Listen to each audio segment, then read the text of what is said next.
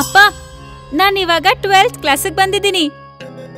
ನನಗೆ ಗೊತ್ತಿದೆ ಶಾಲು ಮಗಳೇ. ನನಗನ್ನಿಸ್ತು ನಿಮ್ಗೆ ಇದ್ರ ಬಗ್ಗೆ ನೆನ್ಪೇ ಇಲ್ಲ ಅಂತ. ಯಾಕಂದ್ರೆ ನೀವು ಮನೇಲಿ ಜಾಸ್ತಿ ಹೊತ್ತು ಇರೋದೇ ಇಲ್ವಲ್ಲ? ನಾನು ಕೋಚಿಂಗ್ ಹೋಗ್ಬೇಕು. ಇಷ್ಟೇನಾ ವಿಷಯ? ಮನೋಹರ್ ಶರ್ಮಾ ನನ್ನ ಸ್ನೇಹಿತ. ನಗರದ ತುಂಬಾ ಗೌರವಾನ್ವಿತ ವ್ಯಕ್ತಿ. ಅವರ ಅಂಡರಲ್ಲೇನೆ ನತಾಶಾ ಕೋಚಿಂಗ್ ಸೆಂಟರು ಇರೋದು. ನಾನು ಅಲ್ಲೇ ಹೋಗಿ ನಿನ್ ವಿಷಯ ಮಾತಾಡ್ಕೊಂಡು ಬರ್ತೀನಿ. ಶಾಲು ಅವರ ತಂದೆ ನತಾಶಾ ಕೋಚಿಂಗ್ ಸೆಂಟರ್ಗೆ ಹೋಗ್ತಾರೆ. ರಾತ್ರಿ ಹತ್ತು ಗಂಟೆ ಆದ್ರೂ ಶಾಲು ಅವರಪ್ಪ ಮನೆಗೆ ಬರೋದಿಲ್ಲ. ನಿಮ್ಮಪ್ಪ ಎಲ್ಲಿ ಹೋದ್ರು ಏನೋ ಸ್ವಲ್ಪ ಫೋನ್ ಮಾಡು. ಶಾಲು ಫೋನ್ ಮಾಡ್ತಾಳೆ. ಅಪ್ಪ ಫೋನ್ ತೆಗಿತಿಲ್ಲ. ಶಾಲು ಮತ್ತೆ ಅವಳಮ್ಮ ನತಾಶಾ ಕೋಚಿಂಗ್ ಸೆಂಟರ್ಗೆ ಹೋಗ್ತಾರೆ. ಅಲ್ಲಿ ಹೋಗಿ ನೋಡಿದ್ರೆ ಶಾಲು ಅವರ ತಂದೆಯ ದೇಹ ಕ್ಲಾಸ್ ರೂಮ್ ಅಲ್ಲಿರೋ ಫ್ಯಾನ್ಗೆ ನೇತಾಡ್ತಿತ್ತು. ಶಾಲು ಜೋರಾಗಿ ಕಿರ್ಚ್ಕೊಳ್ತಾಳೆ. ಶಾಲು ಅವ್ರ ತಂದೆನ ಯಾರ್ ಕೊಂದ್ರು? ನತಾಶಾ ಕೋಚಿಂಗ್ ಸೆಂಟರ್ನ ರಹಸ್ಯ ಏನು? ಬನ್ನಿ ತಿಳ್ಕೊಳ್ಳೋಣ. ಭೂತದ ಕೋಚಿಂಗ್ ಸೆಂಟರ್ ಕಥೆಯಲ್ಲಿ. ರಮೇಶ್ ಅವ್ರ ಫ್ಯಾಮಿಲಿ ಉತ್ತರ ಪ್ರದೇಶದ ಬರೇಲಿ ಅನ್ನೋ ಊರಲ್ಲಿ ಇರ್ತಿದ್ರು. ರಮೇಶ್ ಒಂದು ಪ್ರೈವೇಟ್ ಸ್ಕೂಲ್ನ ಟೀಚರ್ ಆಗಿದ್ರು. ಅಪ್ಪ ಇವತ್ತು ಕೆಲ್ಸ ಮುಗಿಸ್ಕೊಂಡ್ ಬರ್ಬೇಕಾದ್ರೆ ನಂಗೆ ಮೋಮೋಸ್ ತಗೊಂಡ್ ಬನ್ನಿ. ಸರಿ ಮಗಳೇ. ರಮೇಶ್ ಕೆಲ್ಸ ಮುಗಿಸ್ಕೊಂಡ್ ವಾಪಸ್ ಮನೆಗ್ ಬಂದಾಗ ಅವರು ತುಂಬಾ ಬೇಜಾರಲ್ಲಿದ್ರು. ಏನಾಯ್ತು? ಯಾಕೆ ಇಷ್ಟೊಂದ್ ಬೇಜಾರಲ್ಲಿದ್ದೀರಾ? ಸ್ಕೂಲ್ ಬಂದಾಗ್ತಾ ಇದೆ. ನನ್ ಕೆಲ್ಸ ಹೋಗುತ್ತೆ.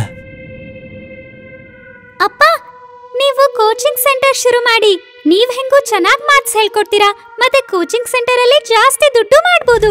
ನನ್ ಕೋಚಿಂಗ್ ಸೆಂಟರ್ ಮಾಸ್ಟರ್ನೇ ನೋಡಿ, ಅವರು ತಿಂಗಳಿಗೆ ಲಕ್ಷಗಟ್ಲೆ ದುಡಿತಾರೆ. ರಮೇಶ್ ಒಂದು ಜಾಗನ ತಗೊಂಡು ಅಲ್ಲಿ ಅವರ ಕೋಚಿಂಗ್ ಸೆಂಟರ್ನ ಶುರು ಮಾಡ್ತಾರೆ. ಅದಕ್ಕೆ ಅವರು ನತಾಶಾ ಕೋಚಿಂಗ್ ಸೆಂಟರ್ ಅನ್ನು ಹೆಸರಿಡ್ತಾರೆ. ರಮೇಶ್ ತುಂಬಾ ಕಾಳಜಿಯಿಂದ ಅವ್ರ ಸ್ಟೂಡೆಂಟ್ಸ್ಗೆ ಪಾಠ ಮಾಡ್ತಾ ಇದ್ರು. ಮತ್ತೆ ಅದಕ್ಕೋಸ್ಕರ ಸ್ವಲ್ಪ ದಿನದಲ್ಲೇ ಅವ್ರ ಕೋಚಿಂಗ್ ಸೆಂಟರ್ ತುಂಬಾನೇ ಪಾಪ್ಯುಲರ್ ಆಯ್ತು. ಅದೇ ಊರಲ್ಲಿದ್ದ ದೊಡ್ಡ ಬಿಸ್ನೆಸ್ ಮೆನ್ ಮನೋಹರ್ ಶರ್ಮಾ ಅವರ ಕೆಟ್ಟ ದೃಷ್ಟಿ ನತಾಶಾ ಕೋಚಿಂಗ್ ಸೆಂಟರ್ ಮೇಲೆ ಬಿತ್ತು. ಈಗ ಈ ಕೋಚಿಂಗ್ ಸೆಂಟರ್ ನನ್ನದಾಯ್ತು ಅಂದ್ರೆ ಸಿಕ್ಕಾಪಟ್ಟೆ ದುಡ್ಡು ಮಾಡ್ಬೋದು. ಒಂದಿನ ಮನೋಹರ್ ರಮೇಶ್ ಅವ್ರ ಮನೆಗ್ ಬರ್ತಾರೆ. ನತಾಶಾ ಕೋಚಿಂಗ್ ಸೆಂಟರ್ ನಿಮ್ದೇನಾ? ಹೌದು ಸರ್ ಹೇಳಿ. ನಾನು ಮನೋಹರ್ ಶರ್ಮಾ. ನನ್ನ ಬಗ್ಗೆ ನೀವು ಕೇಳೇ ಇರಬಹುದು. ನನ್ನ ಇಚ್ಛೆ ಏನು ಅಂದ್ರೆ ನಿಮ್ಮ ಕೋಚಿಂಗ್ ಸೆಂಟರ್ನ ನನಗೇನೆ ಮಾರ್ಬಿಡಿ. ನಾನಿದ್ರಲ್ಲಿ ಫಿಸಿಕ್ಸ್ ಮತ್ತೆ ಕೆಮಿಸ್ಟ್ರಿ ಟೀಚರ್ ಅನ್ನ ಹಾಕ್ತೀನಿ. ಮ್ಯಾಥ್ಸ್ ಅನ್ನ ನೀವೇ ಓದಿಸಿ. ಕೇವಲ ಈ ಕೋಚಿಂಗ್ ಸೆಂಟರ್ ನನ್ನ ಅಂಡರಲ್ಲಿರುತ್ತಷ್ಟೇ ಇಲ್ಲ, ನಾನದನ್ನ ಮಾರೋದಿಲ್ಲ. ಇಡೀ ನಗರದಲ್ಲಿ ನನಗೆ ಇಲ್ಲ ಅಂತ ಯಾರೂ ಹೇಳೋದಿಲ್ಲ. ಯಾವುದ್ರ ಮೇಲೆ ನನಗೆ ಕಣ್ಣು ಬೀಳತ್ತೋ ಅದನ್ನ ನಾನು ಖರೀದಿ ಮಾಡೇ ಮಾಡ್ತೀನಿ. ನಾನ್ ನಿಮ್ಗೆ ಹೇಳದ್ನಲ್ಲ ನಾನದನ್ನ ಮಾರಲ್ಲ ಅಂತ. ಸರಿ. ಮನೋಹರ್ ರಾತ್ರಿ ಗೂಂಡಾಗಳನ್ನ ರಮೇಶ್ ಅವ್ರ ಮನೆಗೆ ಕಳಿಸ್ತಾರೆ. ಮತ್ತೆ ರಮೇಶ್ ಅವರ ಇಡೀ ಸಂಸಾರವನ್ನೇ ಅವರು ಸಾಯಿಸ್ಬಿಡ್ತಾರೆ. ಮನೋಹರ್ ನತಾಶಾ ಕೋಚಿಂಗ್ ಸೆಂಟರ್ಗೆ ಅವರ ಟೀಚರ್ನ ಕಳಿಸ್ತಾರೆ. ಆ ಕೋಚಿಂಗ್ ಸೆಂಟರ್ ಈಗ ಅವ್ರ ಕೈ ಕೆಳಗಡೆನೇ ಇರುತ್ತೆ. ಎರಡು ವರ್ಷಗಳ ನಂತರ. ಸರಿ ಮಕ್ಕಳೇ ನಿಮ್ಗಿನ್ನು ರಜಾ. ನಿಮ್ಗೆ ದೀಪಾವಳಿಯ ರಜದ ನಂತರ ನಾನು ಮತ್ತೆ ಭೇಟಿ ಆಗ್ತೀನಿ. ಎಲ್ಲಾ ಮಕ್ಕಳು ಹೊರಟೋಗ್ತಾರೆ. ಆಗ ಟೀಚರ್ ಬೋರ್ಡ್ ಕ್ಲೀನ್ ಮಾಡೋಕೆ ಶುರು ಮಾಡ್ತಾರೆ. ಟೀಚರ್ಗೆ ಮೂರ್ ಜನ ಬೆಂಚ್ ಮೇಲೆ ಕೂತಿರೋ ಹಾಗೆ ಕಾಣಿಸುತ್ತೆ. ಆ ಮೂರ್ ಜನ ರಮೇಶ್ ರಮೇಶ್ ಹೆಂಡತಿ ಮತ್ತೆ ರಮೇಶ್ ಮಗಳ ರೂಪ. ಮತ್ತೆ ಅವರ ಮುಖ ತುಂಬಾನೇ ಭಯಪಡಿಸೋ ಹಾಗಿತ್ತು. ಅಯ್ಯೋ ನೀವು ನೀವ್ಯಾರು? ಹೋಗಿ ಇಲ್ಲಿಂದ. ಮೂರು ಆತ್ಮಗಳು ಟೀಚರ್ನ ಕತ್ ಹಿಸ್ಕಿ ಸಾಯಿಸ್ಬಿಡ್ತಾರೆ. ಮಾರನೇ ದಿನ ಮನೋಹರ್ ಶರ್ಮಾ ಕೋಚಿಂಗ್ ಸೆಂಟರ್ಗೆ ಬರ್ತಾರೆ. ಸಿಸಿಟಿವಿನ ಚೆಕ್ ಮಾಡಿ. ಆಗ ಮನೋಹರ್ಗೆ ಕಾಣಿಸೋದು ರಮೇಶ್ ಅವರ ಪೂರ್ತಿ ಸಂಸಾರ ಟೀಚರ್ನ ಸಾಯಿಸಿದ್ದಾರೆ ಅಂತ. ಅಯ್ಯೋ ಇಲ್ಲ. ಇದು ಆ ಮೂರ್ ಜನನೇ. ಇವರ ಆತ್ಮಕ್ಕೆ ಶಾಂತಿ ಸಿಕ್ಕಿಲ್ಲ ಅನ್ಸತ್ತೆ. ಅಕಸ್ಮಾತ್ ಈ ಫುಟೇಜ್ ಪೊಲೀಸವ್ರ ಕೈಗೆ ಏನಾದ್ರೂ ಸಿಕ್ಬಿಟ್ರೆ ಇದ್ರ ವಿಷಯವಾಗಿ ತನಿಖೆ ನಡೆಯುತ್ತೆ. ನನ್ನ ಮೇಲೆ ಅನುಮಾನ ಬರುತ್ತೆ. ಇದು ತುಂಬಾನೇ ಕಷ್ಟದ ವಿಷಯ ಆಯ್ತು. ಪೊಲೀಸ್ ಸ್ಟೇಷನ್ ಹೋಗೋದು ಒಳ್ಳೇದಲ್ಲ. ಮನೋಹರ್ಗೆ ಭಯ ಆಗುತ್ತೆ. ಅವ್ರ ಕೂಡ್ಲೆ ಮನೆಗೆ ಹೋಗಿ ಪೂರ್ತಿ ಮನೆ ಸುತ್ತ ಬಾಡಿ ನ ಇಡ್ತಾರೆ. ಹಾಗೇನೆ ಒಬ್ಬ ತಾಂತ್ರಿಕರನ್ನ ಕರೆಸಿ ಪೂಜೆ ಪುನಸ್ಕಾರ ಎಲ್ಲ ಮಾಡಿಸ್ತಾರೆ. ಆ ಮೂರು ಆತ್ಮಗಳು ನನ್ನ ಹತ್ರ ಬರೋದಿಲ್ಲ ತಾನೇ ಸ್ವಾಮಿಗಳೇ? ಇಲ್ಲ ನೀವು ನಿಶ್ಚಿಂತೆಯಾಗಿ ಹೋಗಿ ಮಲಗಿ. ಮನೋಹರ್ ರಾತ್ರಿ ಬೆಡ್ ಮೇಲೆ ಮಲ್ಗಿರ್ತಾರೆ. ಅವರು ಇದ್ದಕ್ಕಿದ್ದ ಹಾಗೆ ಕಣ್ಬಿಟ್ ನೋಡಿದಾಗ ರಮೇಶ್ ಅವರ ಭೂತದ ಪರಿವಾರ ಭಯಂಕರ ಸ್ವರೂಪದಲ್ಲಿ ಅವ್ರ ಮುಂದೆ ಇತ್ತು. ನನ್ನಿಂದ ತಪ್ಪಾಗೋಯ್ತು. ನನ್ನನ್ನು ಕ್ಷಮಿಸ್ಬಿಡಿ. ತುಂಬಾ ಸಂತೋಷವಾಗಿ ನೆಮ್ಮದಿಯಾಗಿದ್ದಂತಹ ನನ್ನ ಪರಿವಾರನ ನಿನ್ನ ದುಡ್ಡಿನ ಆಸೆಗೋಸ್ಕರ ಹಾಳು ಮಾಡಾಕ್ಬಿಟ್ಟೆ ಮನೋಹರ್ ತಮ್ಮ ಕೋಣೆಯಿಂದ ಹೊರಗೆ ಹೋಗ್ತಾರೆ. ಅವ್ರ ಕಾರ್ ಸ್ಟಾರ್ಟ್ ಮಾಡ್ತಾರೆ. ಕಾರ್ನ ತಗೊಂಡು ಅವರು ತಾಂತ್ರಿಕರ ಮನೆ ಹತ್ರ ಹೋಗ್ತಾರೆ. ಆ ಮೂರು ಆತ್ಮಗಳು ಇವ್ರ ಕಾರ್ ಒಳಗಡೆನೆ ಬಂದ್ಬಿಡುತ್ತೆ. ಇನ್ನು ನೀನು ನನ್ನಿಂದ ತಪ್ಪಿಸ್ಕೊಂಡು ಹೋಗೋದಕ್ಕೆ ಸಾಧ್ಯನೇ ಇಲ್ಲ. ಮನೋಹರ್ಗೆ ಹೆದರಿಕೆಯಲ್ಲಿ ಕಾರ್ನ ಕಂಟ್ರೋಲ್ ಮಾಡೋಕ್ಕಾಗಲ್ಲ. ಅದೇ ಭಯದಲ್ಲಿ ಕಾರ್ ಪ್ರಪಾತಕ್ಕೆ ಬಿದ್ದು ಹೋಗುತ್ತೆ ಮನೋಹರ್ ಅಲ್ಲೇ ಸತ್ತು ಹೋಗ್ತಾರೆ. ಇವತ್ತಿಗೂ ನತಾಶಾ ಕೋಚಿಂಗ್ ಸೆಂಟರ್ ಅಲ್ಲಿ ರಮೇಶ್ ಅವರ ಆತ್ಮ ಇದ್ದೇ ಇದೆ. ಅದಕ್ಕೆ ಜನ ಅಲ್ಲಿಗೆ ಹೋಗೋಕೆ ತುಂಬಾ ಭಯ ಪಡ್ತಾರೆ ಆತ್ಮಗಳ ಹಾಸ್ಟೆಲ್. ಗೀತಾ ಮತ್ತು ದೀಪಿಕಾ ದಿನ ಬ್ಯಾಡ್ಮಿಂಟನ್ ಆಡೋಕೆ ಹೋಗ್ತಿದ್ರು. ಇವತ್ತು ಕೂಡ ಗೀತಾ ಸಂಜೆ ಐದು ಗಂಟೆಗೆ ದೀಪಿಕಾ ಮನೆಗೆ ಬಂದ್ಬಿಟ್ಲು. ಆಂಟಿ, ದೀಪಿಕಾ ಎಲ್ಲಿ? ಕಂದ. ದೀಪಿಕಾಗೆ ತುಂಬಾ ಹುಷಾರಿಲ್ಲ. ಅವಳಿಗೆ ಜ್ವರ ಬಂದಿದ್ದೆ ಅದಕ್ಕೆ ಅವಳು ಮಲ್ಗಿದಾಳೆ. ಗೀತಾ ತುಂಬಾ ಬೇಜಾರ್ ಮಾಡ್ಕೊಂಡು ಹಾಗೆ ಸುತ್ತಾಡಕ್ಕೆ ಅಂತ ಆಚೆ ಹೋಗ್ತಾಳೆ. ಹೋಗ್ತಾ ಹೋಗ್ತಾ ಅವಳು ಶಾಂತಿದೇವಿ ಹಾಸ್ಟೆಲ್ ಅನ್ನ ತಲುಪ್ತಾಳೆ. ಅವಳು ನೋಡ್ತಾಳೆ ಆ ಹಾಸ್ಟೆಲ್ನ ಒಳಗೆ ಸಾಕಷ್ಟು ಹುಡುಗಿಯರು ಬ್ಯಾಡ್ಮಿಂಟನ್ ಆಡ್ತಿದ್ರು. ಮತ್ತೆ ಇವಳನ್ನ ಕರೀತಿದ್ರು. ಗೀತಾ ಹಾಸ್ಟೆಲ್ನ ಒಳಗೆ ಹೋಗ್ತಾಳೆ. ಅಲ್ಲಿ ಗೀತಾಳ ಅಮ್ಮ ಅವಳು ಬರೋದನ್ನೇ ಕಾಯ್ತಿರ್ತಾಳೆ. ಒಂಬತ್ತು ಗಂಟೆ ಆಗೋಯ್ತು. ಈ ಹುಡುಗಿ ಎಲ್ಲಿ ಹೋದ್ಲು? ಗೀತಾಳ ಅಮ್ಮ ದೀಪಿಕಾ ಮನೆಗೆ ಬರ್ತಾಳೆ.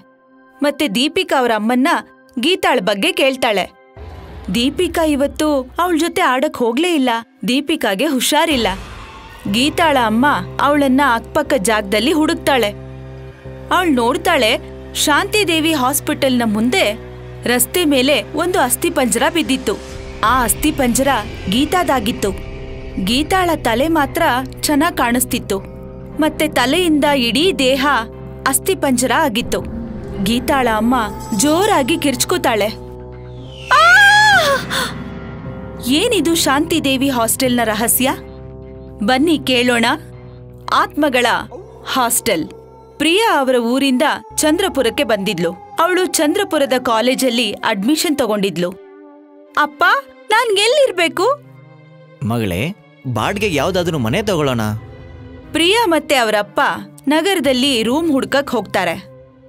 ಸರ್ ಇಲ್ಲಿ ಯಾವ್ದಾದ್ರೂ ಬಾಡಿಗೆಗೆ ಮನೆ ಏನಾದರೂ ಸಿಗುತ್ತಾ? ಸರ್ ನೀವು ಲೇಟ್ ಮಾಡಿದ್ರಿ. ಸಿಟಿಲಿರೋ ಯಾವ ಮನೆ ಕೂಡ ಖಾಲಿ ಇಲ್ಲ. ಇವಾಗ ನಿಮ್ಗೇನಾದ್ರೂ ಮನೆ ಸಿಕ್ಕಿದ್ರೆ ಅದು ಚಮತ್ಕಾರನೇ ಅಂತ ತಿಳ್ಕೊಳ್ಳಿ. ಈ ವ್ಯಕ್ತಿ ಅಂತೂ ಹುಚ್ಚ ಅನ್ಸತ್ತೆ. ನಡೀರಿ ನಾವು ಬೇರೆ ಕಡೆ ಹುಡ್ಕೋಣ. ಪ್ರಿಯಾ ಮತ್ತೆ ಅವರಪ್ಪ ರೂಮ್ನ ಹುಡುಕ್ತಾ ಹುಡುಕ್ತಾ ಶಾಂತಿದೇವಿ ಹಾಸ್ಟೆಲ್ನ ಗೇಟ್ ಹತ್ರ ತಲುಪ್ತಾರೆ. ಅಲ್ಲಿ ಒಂದ್ ಅಜ್ಜಿ ಗೇಟ್ ಹತ್ರ ನಿಂತಿರ್ತಾಳೆ. ಇಲ್ಲಿ ಕೇಳಿ ಅಣ್ಣ ರೂಮ್ ಹುಡುಕ್ತಿದ್ದೀರಾ ಹುಡುಗಿಗೋಸ್ಕರ? ಹಾ. ಸಿಗತ್ತೆ. ನಮ್ ಹಾಸ್ಟೆಲಲ್ಲಿ ಒಂದೇ ಒಂದ್ ಖಾಲಿ ಇದೆ. ಪ್ರಿಯಾ ಅವರಪ್ಪ ಹಾಸ್ಟೆಲ್ನ ಫೀಸ್ ಕಟ್ತಾರೆ ಮತ್ತೆ ಅಜ್ಜಿಗೆ ಹೇಳ್ತಾರೆ. ತುಂಬಾ ತುಂಬಾ ಧನ್ಯವಾದಗಳು ಅಮ್ಮ. ಪ್ರಿಯಾ ಅವರಪ್ಪ ಅವಳನ್ನ ಹಾಸ್ಟೆಲಲ್ಲಿ ಬಿಟ್ಟು ಹೊರಟ್ಬಿಡ್ತಾರೆ. ಪ್ರಿಯಾ ತುಂಬಾ ಸುಸ್ತಾಗಿದ್ಲು ಹಾಗಾಗಿ ಅವಳು ಸ್ನಾನ ಮಾಡಿ ನಿದ್ದೆ ಮಾಡ್ಬಿಡ್ತಾಳೆ. ಪ್ರಿಯಾಳ ಬೆಡ್ನ ಪಕ್ಕದಲ್ಲೇ ಒಂದು ಅಲ್ಮಾರಿ ಇತ್ತು. ಪ್ರಿಯಾಳಿಗೆ ಎಚ್ಚರಿಕೆ ಆಗತ್ತೆ. ಅವಳು ನೋಡ್ತಾಳೆ, ಅಲ್ಮಾರಿಯ ಮೇಲೆ ಒಂದು ಭೂತ ಕೂತಿದೆ. ಆ ಭೂತ ಪ್ರಿಯಾ ಮೇಲೆ ಎಗರ್ತಾಳೆ. ಪ್ರಿಯ ಕೆಟ್ಟದಾಗಿ ಕಿರ್ಚ್ಕೋತಾಳೆ! ಪ್ರಿಯಾ ಗಾಬರಿ ಆಗ್ಬಿಟ್ಟಿರ್ತಾಳೆ. ಅವಳಿಗೆ ಬೆವರು ಬರ್ತಿರತ್ತೆ. ಜೋರಾಗಿ ಉಸಿರಾಡ್ತಿರ್ತಾಳೆ ಅನ್ಸತ್ತೆ, ನಾನು ಕೆಟ್ಟ ಕನ್ಸ್ಕಂಡೆ ಅಂತ. ಆಗ ಯಾರೋ ಬಂದು ಪ್ರಿಯಾಳ ರೂಮ್ನ ಬಾಗಿಲು ಬಡಿಯೋಕ್ ಶುರು ಮಾಡ್ತಾರೆ. ಪ್ರಿಯಾ ಬಾಗಿಲು ತೆಗೆದು ನೋಡ್ತಾಳೆ. ಬಾಗ್ಲಲ್ಲಿ ಆ ಅಜ್ಜಿ ನಿಂತಿರ್ತಾಳೆ. ಅವಳು ಒಂದ್ ಕೈಯಲ್ಲಿ ಒಂದು ಟ್ರೇ ಹಿಡ್ಕೊಂಡಿರ್ತಾಳೆ. ಟ್ರೇ ಮೇಲೆ ಒಂದು ಬಟ್ಟೆ ಬಿದ್ದಿರತ್ತೆ. ಮಗಳೇ, ಏನಾದ್ರೂ ತಿನ್ನು. ನನ್ಗನ್ಸತ್ತೆ ನೀನು ಹಸ್ಕೊಂಡಿದೀಯಾ ಅಂತ ಅಜ್ಜಿ ಪ್ರಿಯಾಗೆ ಟ್ರೇ ಕೊಟ್ಬಿಟ್ಟು ಹೊರಟ್ಬಿಡ್ತಾಳೆ. ಪ್ರಿಯಾ ಊಟ ಮಾಡಕ್ ಕೂತ್ಕೋತಾಳೆ. ಯಾವಾಗ ಅವಳು ಟ್ರೇ ಮೇಲಿರೋ ಬಟ್ಟೆನ ಸರಿಸ್ತಾಳೋ, ಆಗ ನೋಡ್ತಾಳೆ ಟ್ರೇ ತುಂಬಾ ಬರೀ ಮೂಳೆಗಳೇ ತುಂಬಿದೆ. ಪ್ರಿಯಾ ಟ್ರೇನ ಬಿಸಾಕ್ಬಿಡ್ತಾಳೆ. ಅವಳು ಹೆದರ್ಕೊಂಡು ರೂಮಿಂದ ಆಚೆ ಹೊಟ್ಟೋಗ್ತಾಳೆ ಪೂರ್ತಿ ಹಾಸ್ಟೆಲ್ ಖಾಲಿ ಖಾಲಿ ಇತ್ತು. ಆಗ ಪ್ರಿಯಾಗೆ ಒಬ್ಬ ಹುಡುಗಿ ಕಾಣಿಸ್ತಾಳೆ. ಆ ಹುಡುಗಿಯ ಕಾಲ್ಗಳು ಉಲ್ಟಾ ಕಾಣಿಸ್ತಿರುತ್ತೆ. ಹೇಳು ಪ್ರಿಯಾ, ನಿನಗೇನಾದ್ರೂ ಹೆಲ್ಪ್ ಆಗ್ಬೇಕಾ? ನಿನ್- ನಿನ್- ನಿನಗೆ ನನ್ನ ಹೆಸರು ಹೇಗೆ ಗೊತ್ತು? ನನ್ನ ಹತ್ರ ಬರಬೇಡ. ಪ್ರಿಯಾ ಆ ಹುಡುಗಿಯಿಂದ ದೂರ ಹೋಗ್ತಾಳೆ. ಮತ್ತೆ ಇನ್ನೊಂದು ಹುಡುಗಿಗೆ ಡಿಕ್ಕಿ ಹೊಡಿತಾಳೆ.